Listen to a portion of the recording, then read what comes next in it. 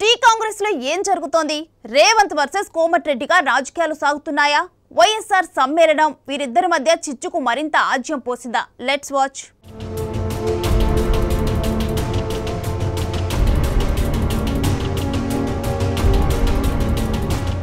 TPCC కొత్త chief నియామకం కోసం కాంగ్రెస్ అధిష్టానం గతంలో ఎన్నడూ లేని విధంగా భారీ కసరత్తులు చేసింది. చాలా టైం తీసుకుని మరి కొత్త పీసీసీ చీఫ్గా రేవంత్ రెడ్డిని ప్రకటించింది. అయితే టీపీసీసీ పదవి తనకి దక్కుతుందని మొదటి నుంచి ఆశపడి భంగపడ్డ కోమటిరెడ్డి మాత్రం రేవంత్ నాయకత్వాన్ని ఒప్పుకునే సమస్య లేదన్నట్లుగా వ్యవహరిస్తున్నారు. దీంతో వీలు చిక్కినప్పుడల్లా రేవంత్పై విమర్శలు చేయడంతో పాటు టీపీసీసీ నిర్ణయాలను ధిక్కరిస్తూ కాంగ్రెస్ అధిష్టానానికి సవాల్ విసురుతున్నారు. ఈ నేపథ్యంలోనే తెలంగాణ కాంగ్రెస్లో మరోసారి Revanth Reddy versus Komatireddy issue hot టాపిక్గా మారింది. రేవంత్ రెడ్డికి టీపీసీసీ పదవి. తొలినాళ్ళలోనే తెలంగాణ రాష్ట్ర వ్యవహారాల ఇన్ఛార్జ్ మాణిక్యం ఠాగూర్ డబ్బులకు అమ్ముడుపోయాడంటూ కోమటిరెడ్డి సంచలన కామెంట్స్ చేశారు. దీనిపై కాంగ్రెస్ అధిష్టానం సీరియస్ అయి షోకాజ్ నోటీసు సైతం జారీ చేసింది. కొన్ని రోజులకు ఈ ఇష్యూ సద్దుమణిగింది మరోవైపు టీపీసీసీ చీఫ్గా రేవంత్ రెడ్డి తన స్థానాన్ని పదిలం చేసుకున్నారు. తనకంటూ ఓ టీంను రెడీ చేసుకుని ప్రత్యర్థి పార్టీలపై దూకుడుగా వెళుతున్నారు. రాష్ట్ర వ్యాప్తంగా జిల్లాల పర్యటన చేస్తూ కాంగ్రెస్ శ్రేణుల్లో జోష్ నింపే ప్రయత్నం చేస్తున్నారు.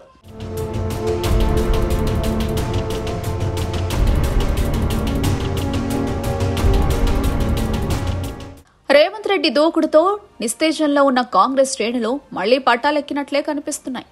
రేవంత్ రెడ్డికి కార్యకర్తల నుంచి ఫుల్ సపోర్ట్ లభిస్తుండగా కాంగ్రెస్ సీనియర్ల నుంచి పెద్దగా సహకారం లభించడం లేదనే టాక్ వినిపిస్తోంది.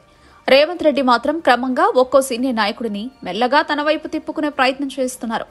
ఇలాంటి సమయంలోనే హైదరాబాద్లో వైఎస్ విజయమ్మ వైఎస్ఆర్ సమ్మేళనం నిర్వహించారు. ఈ కార్యక్రమానికి ఆమె వైఎస్ఆర్ కేబినెట్లో పనిచేసిన మంత్రులు ఇతర ఎమ్మెల్యేలను ఆప్తులను ఆహ్వానించారు. వైఎస్ విజయమ్మ నిర్వహిస్తున్న ఆత్మీయ సమ్మేళనం తన కూతురు షర్మిల రాజకీయ పార్టీ కోసమే చేస్తున్నారని రేవంత్ రెడ్డి ఆరోపించారు. ఇదే విషయాన్ని కాంగ్రెస్ అధిష్టానం దృష్టికి తీసుకుని వెళ్ళారు.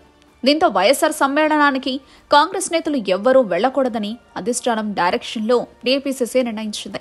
దీనిని భువనగిరి కాంగ్రెస్ ఎంపీ కోమటిరెడ్డి వెంకటరెడ్డి ధిక్కరిస్తూ వైఎస్ఆర్ ఆత్మీయ సమ్మేళనానికి వెళ్ళారు.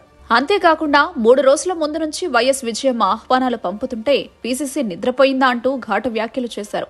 అక్కడితో ఆగకుండా వైఎస్ఆర్ కాంగ్రెస్ నాయకుడని ఆయన సంస్మరణ సభకు వెళ్ళొద్దని చెప్పడానికి మీరెవరు అన్న రేంజ్లో రేవంత్పై ఫైర్ అయ్యారు.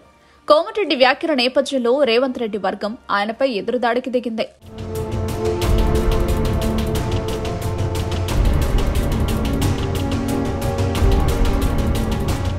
టీపీసీసీ ఆదేశాలను కోమటిరెడ్డి ధిక్కరించడంపై టీపీసీసీ ఢిల్లీకి ఫిర్యాదు చేసింది.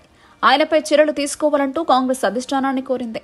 మరోవైపు ప్రచార కమిటీ అధ్యక్షుడిగా ఉన్న మధుయాష్కి కూడా కోమటిరెడ్డిని ఉద్దేశించి ఘాటు వ్యాఖ్యలు చేశారు. ఆయన బయటికి వెళ్ళాలనుకుంటే వెళ్ళిపోవచ్చని వెన్నుపోటు పొడవద్దని తీవ్ర వ్యాఖ్యలు చేయడం వివాదానికి ఆజ్యం పోసింది. తాజా పరిణామాల నేపథ్యంలో కోమటిరెడ్డి వెంకటరెడ్డి ఒంటరివాడయ్యాడని అందరూ భావించారు. ఈ తరుణంలోనే కాంగ్రెస్ సీనియర్ ఎమ్మెల్యే జగ్గారెడ్డి పార్టీలో కోమటిరెడ్డి ఒంటరివాడు కాదని చెప్పే ప్రయత్నం చేశారు. కోమటిరెడ్డి చేసింది తప్పు కాదని ఆయనకు మద్దతిచ్చే ప్రయత్నం చేశారు. కాంగ్రెస్ పార్టీలో కొంత కమ్యూనికేషన్ గ్యాప్ ఉందన్నారు. కోమటిరెడ్డి రేవంత్ రెడ్డి మధ్య నెలకున్న గ్యాప్ను పూడ్చే ప్రయత్నం చేస్తున్నామని ఆయన పరోక్ష వ్యాఖ్యలు చేశారు. అదేవిధంగా చంద్రబాబుకు ఎమ్మెల్యే సీతక్క రాఖీ కట్టడం కూడా తప్పు కాదని ఇరు వర్గాలకు నచ్చజెప్పే ప్రయత్నం చేశారు. అయితే కాంగ్రెస్ సీనియర్లే కోమటిరెడ్డి కేంద్రంగా రాజకీయాలకు పాల్పడుతున్నారనే విమర్శలు సైతం వినిపిస్తున్నాయి. ఈ నేపథ్యంలో కాంగ్రెస్ రెండుగా చీలిపోయిందా అనే సందేహాలు వ్యక్తమవుతున్నాయి. ఈ పరిస్థితి క్యాడర్ పైన ప్రభావం చూపనుందని విశ్లేషకులు సైతం చెబుతున్నారు ఏదేమైనా వైఎస్ విజయమ్మ నిర్వహించిన వైఎస్ఆర్ సమ్మేళనం కాంగ్రెస్ పార్టీలో పెద్ద దుమారాన్ని రేపినట్లు కనిపిస్తోంది.